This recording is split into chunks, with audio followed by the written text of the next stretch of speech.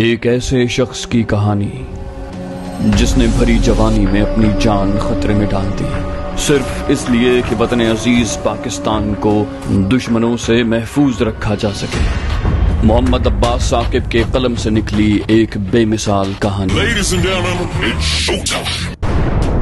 वतन जाद मेरी आँखों से आँसू बह रहे थे और हलक से कराहें निकल रही थीं। गुरदास फतेह सिंह के हमरा कमरे में दाखिल हुआ तो उस वक्त भी मेरी यही हालत थी। गुरदास ने एक नज़र मुझ पर डाली और फिर बलविंदर को घूर कर देखा। लगता है तुसी मेरे भी अफसर लग गए हो, बलविंदर जी। आप पे ही एक्शन लैंड लग गए हो। बलविंदर ने शर्मिंदा होने की बजाय कहा, सर जी, ये सूर द पुत्र गाला कटदा फतेह सिंह ने अपने साथी की हिमायत करते हुए बताया कि उसे भी गालियाँ दी गई हैं और ये कि मैं यादाश्त खोने का नाटक कर रहा हूँ। गुरदास सिन्हा ये सुनकर चौंका और फिर गौर से मुझे देखा। मैंने रो देने वाले लहजे में कहा, इसने मुझे बहुत मारा है भाई। पता नहीं ये मुझसे क्यों दुश्मनी निकाल रहे हैं। मुझे क्यों पकड़ कर बाँध रखा है? खुदा के लिए मुझे छोड़ दो। इस संतरी ने मेरे अंजर पंजर ढीले कर दिए हैं। मैं भूख से भी मरा जा रहा हूँ। गुरदास ने गंभीर लहजे में कहा हम्म लगता है तुम ऐसे नहीं मानोगे महाशय। मुझे तुम पर अपनी महारत आजमानी पड़ेगी। मुझे पता है तुम्हें थर्ड डिग्री बर्दाश्त करने की खुसूसी तरबियत दी गई होगी, लेकिन मैं कुछ अलग किस्म के दो चार दाव पेच जानता हूँ। देखना यह है कि तुम कहाँ तक बर्दाश्त कर सकते हो। मैंने बेचार की भरे लहजे में उससे इल्तजा की, कहा तुम्हें ज़रूर कोई गलती लगी है, जनाब। मैंने तुम्हारा क्या बिगाड़ा है? तुम क्यों मुझ पर तशद करना चाहते हो?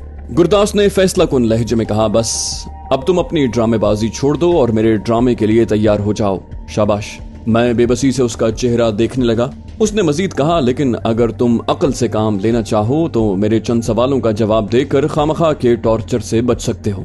जवाबात तो तुम्हें बाद में भी देने हैं। लेकिन शायद उस वक्त तक तुम अपने एक आध हाथ पैर, चार छह दांतों, बल्कि शायद एक या दोनों आँखों से भी महरूम हो चुके हो। उसके लहजे में बर्फ़ की सी ठंडक थी। मैंने कहा, खुदा के लिए मुझ पर रहम करो। मुझ गरीब को छोड़ दो। मैं तुम्हारे हर सवाल का जवाब देने को तैयार हूँ। मैंने तकरीबन बिलबिलाते हुए कहा। उसने गहरी नज़रों से मुझे देखा। बोला, ओहो, क्या वाकई? उसने अपने दोनों साथियों की तरफ़ मानी खेज नज़रों से देखते हुए कहा अच्छा ये बताओ तुम्हारा असल नाम क्या है? मैंने जहन पर ज़ोर डालने की एक्टिंग की और फिर घबराए हुए लहजे में कहा, ओ ओ, खुदाया, मुझे अपना नाम याद नहीं आ रहा। मेरा सर दर्द से चकरा रहा है। जरा ठहरो, मैं सोच कर बताता हूँ। मैंने अपनी आँखें बंद कर ली। अचानक मुझे अपने दाएँ घुटने के जोड़ से जरा नीचे पिंडली पर एक मज़बूत गिरफ्त महसूस हुई। मैंने चौंक कर अपने पैरों की तरफ़ नज़र डाली। मुझे वहाँ गुरदास खड़ा नज़र आया। उसने मेरे घुटने से जरा नीचे चमड़े का एक डेढ़ इंच चौड़ा पट्टा कसकर बाँध दिया था। मुझे लगा कि मेरी पिंडली आहनी शिकंजे में जकड़ी गई है। उसने बेल्ट को कसने में शायद अपनी सारी ताकत सर्फ कर दी थी। गुरदास ने बिल्कुल वैसा ही पट्टा मेरी दूसरी पिंडली पर भी बाँध दिया। उस काम से फारिग होकर वो बड़े इतमान से बिस्तर के करीब पड़ी कुर्सी पर जा बैठा। मैं अभी इस सारे मामले को समझने की कोशिश ही कर रहा था कि इस कार्रवाई के असरात ज़ाहिर होने लगे।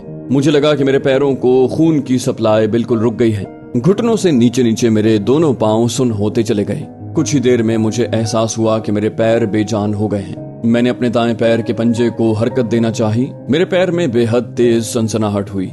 इतनी तेज कि मैं बेख्तियार अपने पंजे की हरकत रोकने पर मजबूर हो गया। मुझे यकीन हो गया कि अगर मेरे पैर कुछ देर और इस तरह बंधे रहे तो हमेशा के लिए मफलूज हो जाएँगे। मैंने दर्द भरे लहजे में फरियाद की, खुदा का खौफ करो। क्यों मुझ परदेसी पर जुल्म करते हो?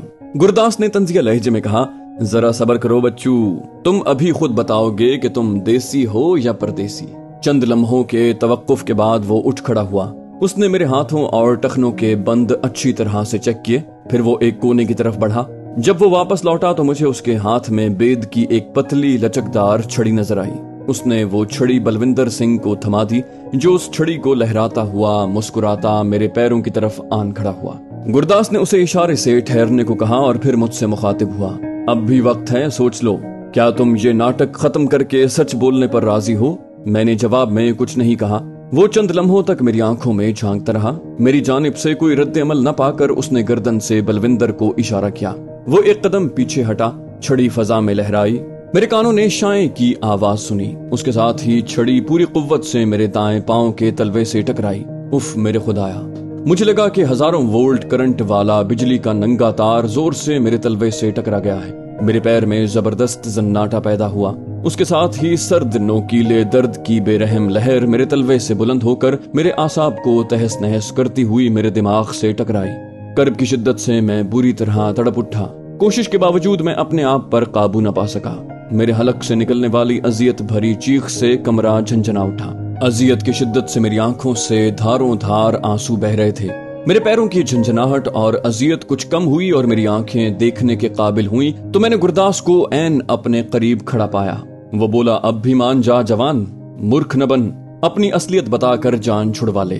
क्यों अपनी जान का दुश्मन बना हुआ है? तू सच बोल दे तो वादा करता हूँ, तुम्हें जान से नहीं मारा जाएगा। अचानक बलविंदर ने मुदाखलत की, ये इन्नी आसानी नाल मानन वाला नहीं जे सर जी मैनू दो चार हाथ आजमान दो गुरदास ने सख्त लहजे में तंबीह की बोला, मुझे बात करने दो बल्लू, तुम बीच में दखल न दो। फिर वो मुझसे मुखातिब हुआ, बोलो, क्या इरादा है? मैंने कहा, मैं कसम खाता हूँ कि मुझे कुछ याद नहीं आ रहा, वरना मैं मेरी बात पूरी सुने बगैर गुरदास ने बलविंदर को हाथ चलाने का इशारा किया और इतमान से कुर्सी पर जा बैठा। उसके साथ ही फजा में शाइन की करीह आवाज़ लहराई। बेद की लचकदार छड़ी पूरी कुव्वत से मेरे बाएँ पाओ के तलवे से टकराई। मेरे वजूद पर एक और कयामत बीत गई। इस बार मैं जहनी तौर पर अपने आप को उस दर्दनाक अजाब के लिए तैयार कर चुका था, लेकिन बलविंदर पर गोया दीवानगी का दौरा पड़ गया था। शाएँ, शराब, शाएँ शाएँ। लचकदार छड़ी बार बार फजा में लहराती और मेरे तलवों में आग भर देती। अजियत से चीख चीख कर मेरी आवाज़ बैठने लगी।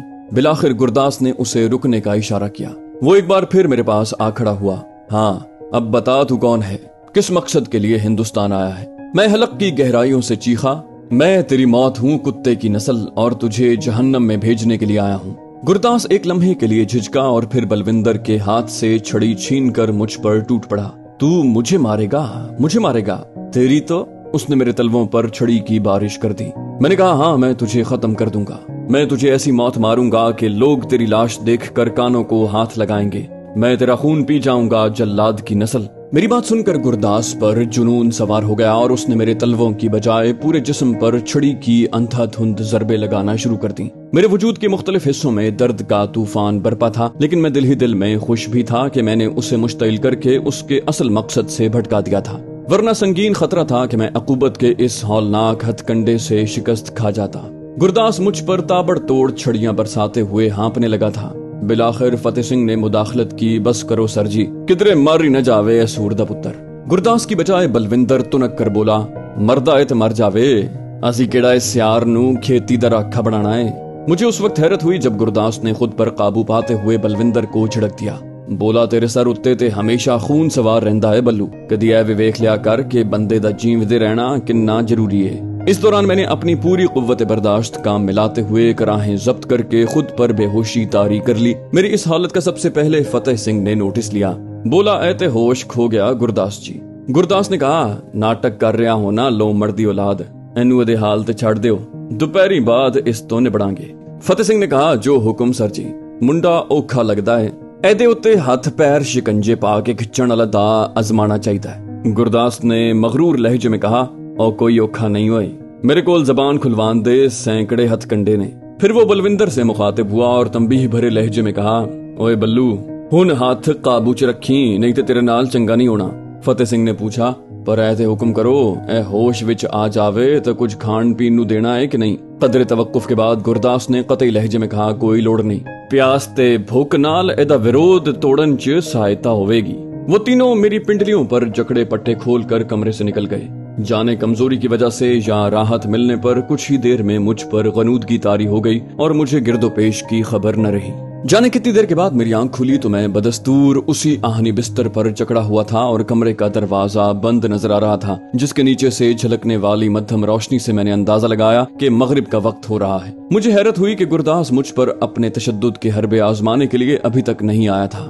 मेरे पैरों के सूजे हुए तलवों ने अपनी तबाहाली की दास्तान अलम दर्द की लहरों के ज़रिए बयान करना शुरू की। उधर मेरे खाली पेट ने अपने अंदर भड़कती भूख की आग का नोहा सुनाया। साथ ही मेरे सूखे हुए हलक ने मुझे याद दिलाया कि उसे पानी का एक कतरा भी चखे हुए कितने ही घंटे गुजर चुके हैं। चित लेटे लेटे मेरी कमर तख्ता हो रही थी।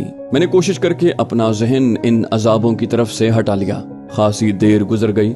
मैंने सोचा कि गुरदास अपने गुर्गों समेत किसी भी वक्त आने वाला होगा, लेकिन मेरा ख्याल गलत साबित हुआ।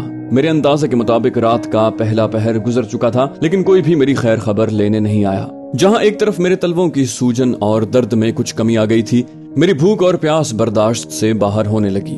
मेरा दिल चाहा उन मोटे मोटे पट्टों को चबाकर खा जाऊँ, लेकिन तमाम बंद मेरी दांतों की पहुँच से बाहर थे। अंजाम से वाकफियत के बावजूद मैंने कैनवस के बंधनों के खिलाफ ज़ोर आजमाई की, लेकिन नाकाम रहा। थक हार कर मैंने ये कोशिश तर्क कर दी। मुझे लगा कि मेरी हिम्मत जवाब दे रही है। लेकिन फिर मैंने अपने खालिक मालिक से मदद की, इल्तिजा की और जाने कितने दिनों के बाद मेरी आँखें बह निकली। मैंने अपने आँसू रोकने की कोशिश न की, क्योंकि मुझे यकीन था कि अल्लाह रब्बुल इज़्ज़त अपने गुनाहगार तरीन बंदों की आहोजारी भी जाया नहीं जाने देते। फिर अचानक मेरे दिल को सुकून मिल गया और मैं अपने परवरदिगार की रजा पर काने हो गया। शायद मेरी आँख लग गई थी, लेकिन मैं आहनी दरवाजे पर होने वाली खटपट की आवाज़ें सुनकर चौंक पड़ा। मेरे अंदाजे के मुताबिक आधी रात का वक्त होगा। अचानक दरवाज़ा खुला और किसी शख्स को गालिबन पीछे से लात मारकर अंदर फेंका गया। मुझे लगा मेरे बाद किसी और की बदबख्ती उसे यहाँ खींच लाई है, लेकिन मुँह के बल फर्श पर गिरने वाले शख्स को पहचानते ही मैं चौंक उठा। वो कोई और नहीं, गुरदास था। लेकिन जब मेरी नज़र उसके पीछे आने वाले शख्स पर पड़ी तो मेरी आँखें हैरत से फटी की फटी रह गईं। वो जहीर शेख था। उसने हाथों में स्टेन गन थाम रखी थी और उसके चेहरे पर ऐसी दरिंदगी थी कि वो कोई और ही इंसान दिखाई दे रहा था। वो बोला, उठ, खंजीर की नस्ल। तू क्या समझ रहा था कि तेरा हाथ रोकने वाला कोई नहीं है? अगर मुझे कोई मुगालता नहीं हुआ था तो जहीर की गरजदार ललकार पर मैंने गुरदास के जिस्म में लर्जिश देखी। उसकी हालत से लग रहा था जैसे उसे जरा भी मुजाहमत पर अपनी मौत का पुख्ता यकीन हो। हती कि उसने ज़मीन पर लुढ़कने के बाद अपने पैरों पर खड़े होने की कोशिश भी न की। बस उकड़ू मेरी पाइंती की तरफ़ बैठ रहा। उधर मैं हैरत से निठाल हो रहा था, उस नौजवान के पास कौन सी जादू की अंगूठी है जो उसे सीधी यहाँ ले आई है? बिलाखिर मैंने खुद पर काबू पाते हुए जहीर को मुखातिब किया, तुम आ गए मेरे भाई। उसने गुरदास को मुसलसल अपनी नज़रों की गिरफ्त में रखते हुए कहा, अल्लाह का शुक्र है, देर से ही सही, मैं आप तक पहुँचने में बिलाखिर कामयाब हो गया। उसने कदर तवक्कुफ के बाद कहा, मैं गिला नहीं करना चाहता, लेकिन इस बार मजबूर हो गया हूँ।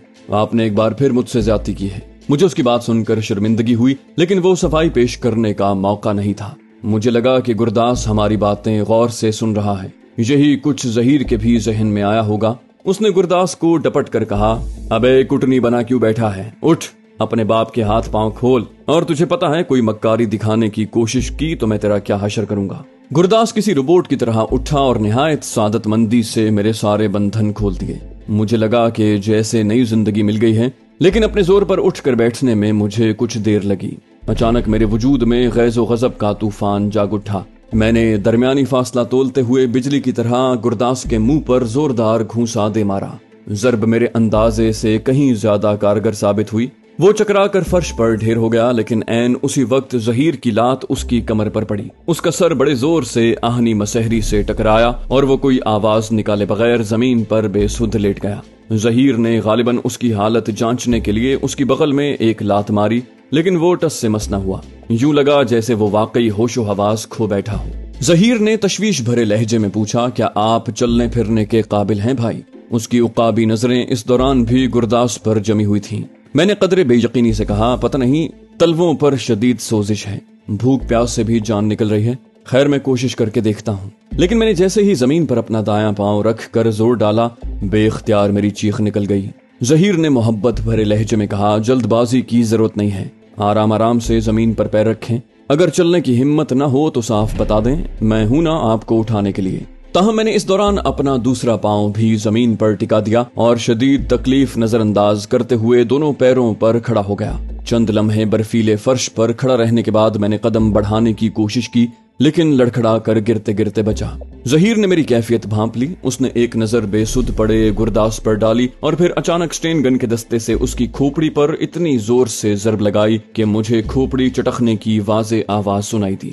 गुरदास के जिस्म ने एक झटका खाया और फिर उस पर मौत की कपकपी तारी हो गई। उसकी तरफ़ से बेफिक्र होकर जहीर ने अपनी जेब से गुरदास का रिवॉल्वर निकालकर मुझे थमाया और फिर मुझे अपनी पुश्त पर लाद कर कमरे से निकल आया। मैं रिवॉल्वर से गोली चलाने के लिए तैयार था, लेकिन मुझे बाहर कोई संतरी दिखाई न दिया। मैंने जहीर के कान में सरगोशी की, ये सब हरामजादे कहाँ हैं? उसने बेनियाजी से कहा, यही हैं। दो का गला कटा हुआ है, बाकी दो की खोपड़ी चकनाचूर है और उनका बचना भी मुश्किल है। इससे पहले कि मैं मजीद कुछ कहता उसने मुझे इमारत के गेट के करीब खड़ी जीप की अगली नशिस्त पर ले जाकर बिठा दिया। बोला, बस एक मिनट, मैं आपकी जूतियाँ लेकर आता हूँ। इतना कहकर वो अकूबत खाने की तरफ़ बढ़ा।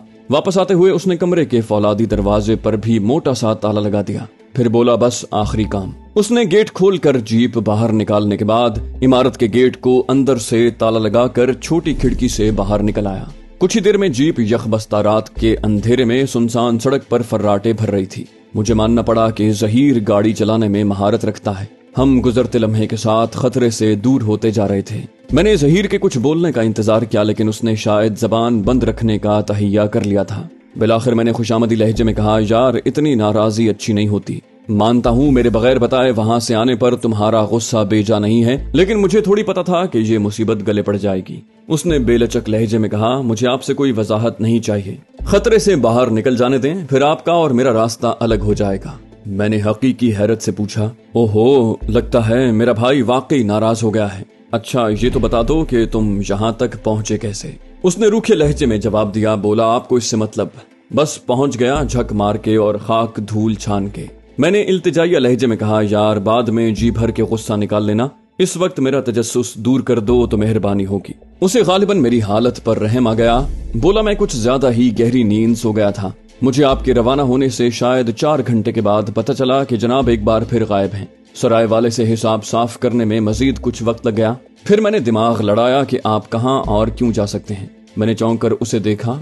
कहा, ओहो तो फिर तुम्हारी समझ में क्या आया? वो बोला, यही कि जनाब, मेरी ज़िंदगी को खतरे से महफूज रखने के लिए, तन तनहा ही सुंदरी को निकाल लाने के लिए निकल खड़े हुए हैं। मुझे उसकी बात सुनकर थोड़ी शर्मिंदगी हुई। उस मासूम को क्या पता कि मैं तो अपनी ही गरज से भागो गाँव की तरफ़ रवाना हुआ था। मैंने पूछा, फिर तुमने क्या किया? उसने कहा, करना क्या था? फ़ौरन बस अड्डे पहुँचा और शाम से उस वक्त तक भटिंडा जाने वाली गाड़ियों का पता किया। मुझे मालूम हुआ कि एक गाड़ी लगभग पाँच घंटे पहले और उसके बाद वाली तीन घंटे पहले रवाना हुई है, जबकि आखिरी गाड़ी एक घंटे के बाद रवाना होने वाली है। मैं उसी गाड़ी में सवार हो गया। वो कुछ देर किसी सोच में डूबा रहा, फिर बात आगे बढ़ाई। जहीर ने जमाल को कैसे बचाया, वो जेल तक कैसे पहुँचा और कैसे तमाम सिपाहियों को ठिकाने लगाया ये जानने के लिए वतन जात की अगली किस्त मुलाहिजा फरमाइए। जाने से पहले वीडियो को लाइक कर दीजिए। और अगर अभी तक आपने हमारे चैनल को सब्सक्राइब नहीं किया तो इसे सब्सक्राइब करके हमारी इस यूट्यूब फैमिली का हिस्सा बनिए। कमेंट करके बताइए कि आपको हमारी वीडियो कैसी लगी। इंशाल्लाह आपसे अगली किस्त में मुलाकात होगी। तब तक के लिए अल्लाह हाफिज।